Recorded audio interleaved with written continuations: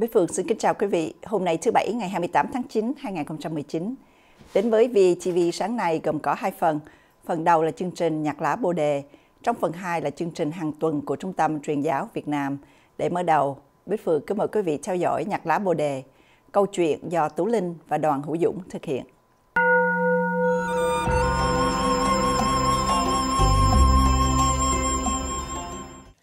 Tú Linh xin kính chào quý vị. Kính mời quý vị đến với Nhạc lá Bồ Đề với câu chuyện Một quyết định đúng, chuyện do Hương Nguyễn sưu tầm, Tủ Linh tóm lược và trình bày. Kính mời quý vị theo dõi. Một thị trấn nhỏ ở Nam Phi, có một đôi vợ chồng trẻ, người chồng tên là George, còn người vợ tên là Helen. George làm việc trong một nông trại ở phía bắc của thị trấn. Hàng ngày, anh phải rời khỏi nhà tờ mờ sáng và trở về lúc mặt trời đã lặn. Vợ anh vì đang mang thai nên ở nhà nghỉ ngơi làm việc nhà. Hôm đó như thường lệ, George lái xe Jeep ra khỏi nhà để đi làm. Nông trại cách nhà anh hơn 50 km. Trên đường đi, phải qua một đoạn đường núi khá dài.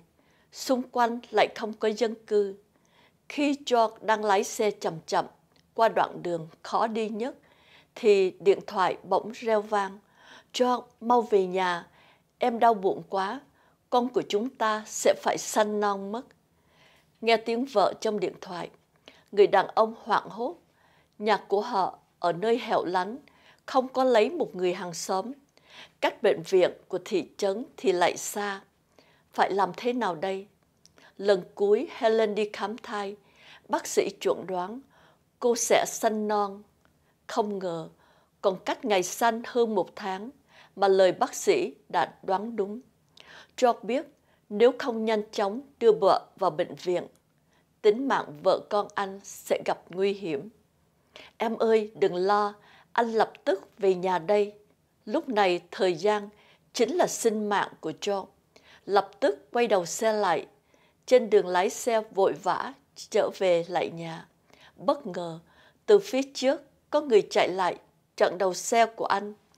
Đó là một người đàn ông trung niên. Ông ta cầu cứu anh với một nét mặt vô cùng bấn loạn. Anh ơi, tôi van xin anh, làm ơn cứu con trai của tôi. Người đàn ông tên là Anthony. Vì hôm nay trời đẹp, nên ông đưa vợ con ra vùng ngoại ô chơi. Nào ngờ, chiếc xe của ông bị hư thắng, nên xe lao xuống vực. Cậu con trai 9 tuổi của ông văng ra ngoài nên bị thương rất nặng, nguy hiểm đến tính mạng, trong khi hai vợ chồng họ chỉ bị thương nhẹ.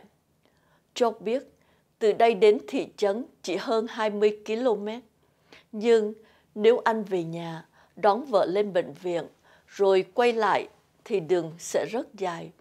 Thời gian sẽ khá lâu. George rơi vào hoàn cảnh khó xử. Nếu như giúp Anthony tính mạng của vợ con anh sẽ gặp nguy hiểm. Nhưng nếu về nhà rồi mới quay lại, thì con trai của Anthony có thể sẽ chết vì không được cấp cứu kịp thời. Đúng lúc anh đang do dự, chưa quyết định, thì người đàn ông quỳ xuống trước đầu xe, van xin anh hãy cứu con ông. John muốn nói với Anthony rằng vợ anh cũng đang nghi kịch và đợi anh ở nhà nhưng anh xuống xe và đỡ người đàn ông dậy. Con trai anh ở đâu? Anthony đưa George đến một chỗ gần đó. Từ trên đường nhìn xuống dưới, quả nhiên có một chiếc xe bị lật và cậu bé đang nằm cạnh đó. Hai người đi xuống, George cúi đầu xuống nhìn, khắp người cậu bé, bê bết máu, gương mặt trắng bệch vì đã mất máu quá nhiều. Những vết thương ở trên người và đùi vẫn không ngừng chảy máu. George không dám nhìn tiếp. Anthony giọng run run như khóc, nói với John, chúng tôi đã gọi cấp cứu, nhưng đợi được xe cấp cứu đến rồi quay về sẽ mất gấp đôi thời gian. Đến lúc đó sợ rằng con tôi nguy mất. Sau khi xảy ra tai nạn, vợ chồng Anthony đã chia nhau ra đi tìm sự giúp đỡ. Bản thân ông đứng đợi xe qua lại ở đường núi, còn vợ ông men theo đường núi, chạy về phía thôn làng gần nhất để tìm sự trợ giúp. George nghe xong, cảm thấy không ổn. Anh biết rõ ở đây chẳng có người ở. Nơi có người ở gần nhất chính là nhà của anh.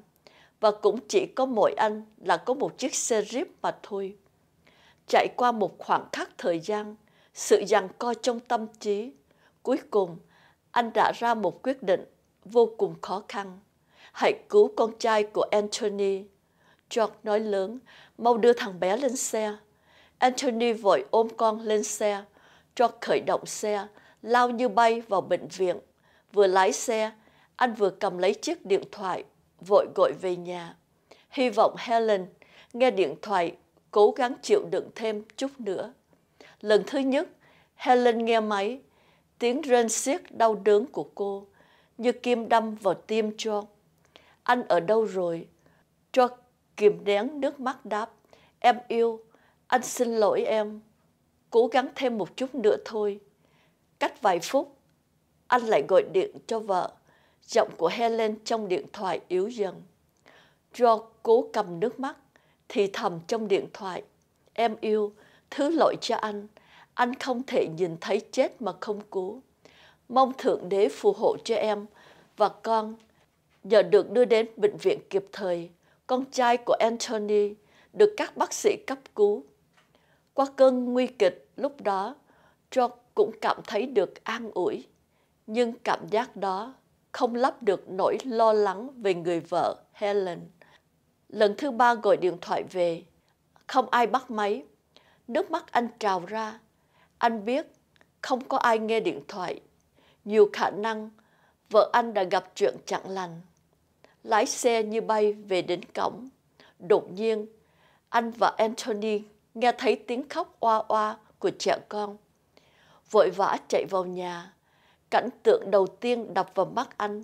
Đó là Helen, đang bình an, nằm nghỉ trên giường. Trên người đắp một chiếc chăn. Ngay trên đầu giường cô nằm là con của họ, một em bé đáng yêu vừa ra đời, cách đó không lâu. Và ngồi cạnh giường là một phụ nữ, nét mặt mệt mỏi, đang nhẹ nhẹ dỗ dành đứa trẻ. John vừa kinh ngạc, vừa vui mừng khôn xiết. Khi đó, Anthony cũng đã bước vào nhà. Ông tiến đến ôm người phụ nữ, giọng cảm kích. Em yêu, chúng ta phải cảm ơn John. Nhờ cậu ấy giúp mà con chúng ta đã được cứu sống.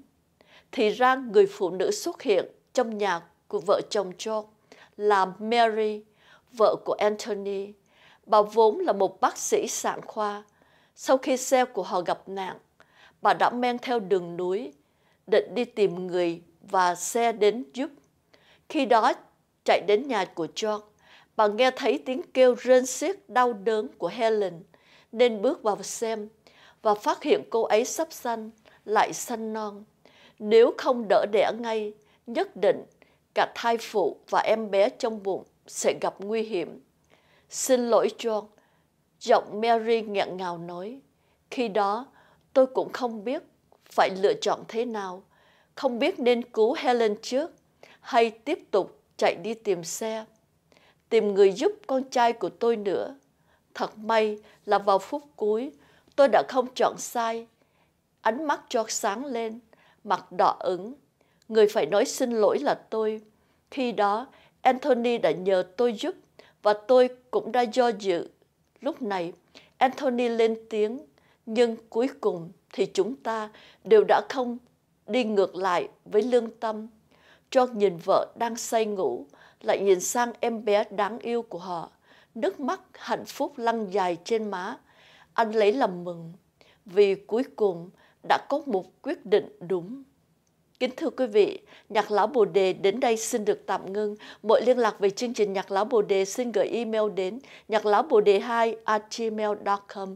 Tú Linh xin kính chào quý vị và xin hẹn gặp lại quý vị vào chương trình kỳ tới.